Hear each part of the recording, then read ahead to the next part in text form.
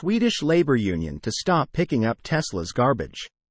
Tesla's garbage will not make it to a landfill, at least not until the automaker accepts collective bargaining rights for Swedish workers. The country's transport workers union said on Wednesday that it would no longer collect Tesla's garbage and waste at its showrooms and service centers as another act of solidarity with IF Metall. This type of sympathy action is very rare. We are using it now to protect the Swedish collective agreements and the safety of the Swedish labor market model. The president of the Swedish Transport Workers Union, Tommy Wreeth, said, according to Reuters. Tesla Sweden sues against transport agency. After dock workers refused to transport Tesla's vehicles and Denmark ports also refused to move vehicles set to enter Sweden.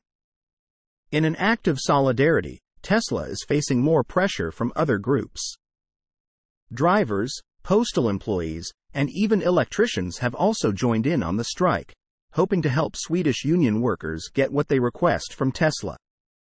The collective bargaining agreement that Swedish workers are hoping to have Tesla agree to would cover wages and other conditions. However, Tesla maintains that Swedish employees have as good as or better terms than the ones the union is attempting to squeeze out of the automaker. Despite Tesla's issues with Sweden over the past month and a half, the company is still doing fine in terms of overall sales figures. Norway Model 3 is now up to 12 in Q4, what will be interesting to see is if Tesla manages to win back the support of IF Metall. As the automaker may have to commit to some of the demands that Swedish employees are pushing for. Additionally, the move to come to terms with at least some of the union's requests could ultimately stop the strike from spreading. Along with other moves of solidarity from workers in the region.